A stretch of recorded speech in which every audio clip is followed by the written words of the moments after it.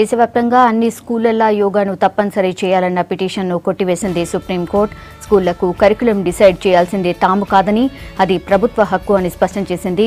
Curriculum విషయంలో తాము ఎలాంటి ఆదేశాలు జారీ చేయమని justice Madan B. Lokur bench స్పష్టం చేసింది. విద్యా హక్కు చట్టం కింద దేశంలోని అన్ని central state government schools aided స్కూల్స్లో యోగాను ఓ సబ్జెక్టుగా చేర్చాలన్న పిటిషన్ మీద కోర్టు విచారణ జరిపింది. Lawyer JC Seth Padma award గ్రహీత జిఎల్ టాండన్ ఈ పిటిషన్ వేశారు. ఒకటో తరగతి నుంచి ఎనిమిదో తరగతి దాకా యోగాను తప్పనిసరి చేయాలని సుప్రీంను కోరారు.